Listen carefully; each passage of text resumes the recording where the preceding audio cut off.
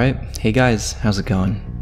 I just wanted to make a quick video showing off the new Lightkin robes, as they're my new favorite chest piece in the entire game, I think.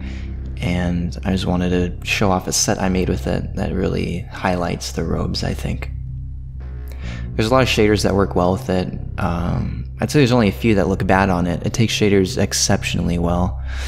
I like Darkwater Froth a lot. Um, looks great in Amethyst Veil. It gives it this really like bright blue on the cloth part of the robes. And same with Metro Shift, looks fantastic too. But Amethyst Veil and Metro Shift look fantastic on everything, so. For helmets, the Steeplechase hood looks really good. Uh, Northlight looks great. Wrath Trail is fine.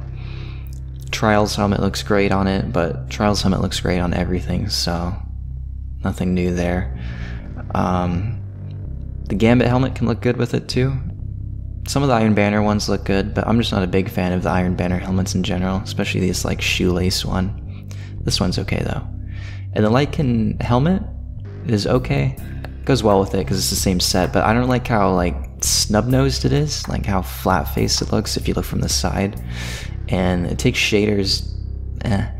It makes all the shaders really shiny, and I'm not a big fan of that. So I went with the Tangled Web helmet just because it looks really scrappy and rusty, and I think it goes well with the rest of the set that I put together.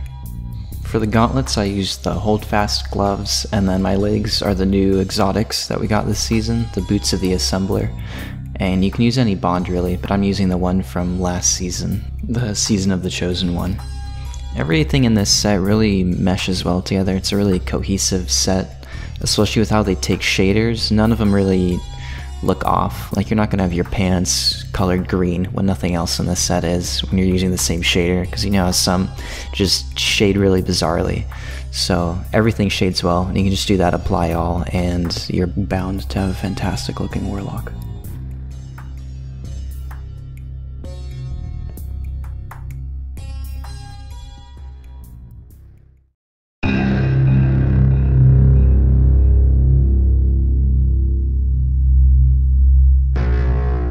Just wanted to really quickly say thanks for all the support on my last video. Um, it was really cool seeing all the responses and just wanting to let you guys know that I appreciate it.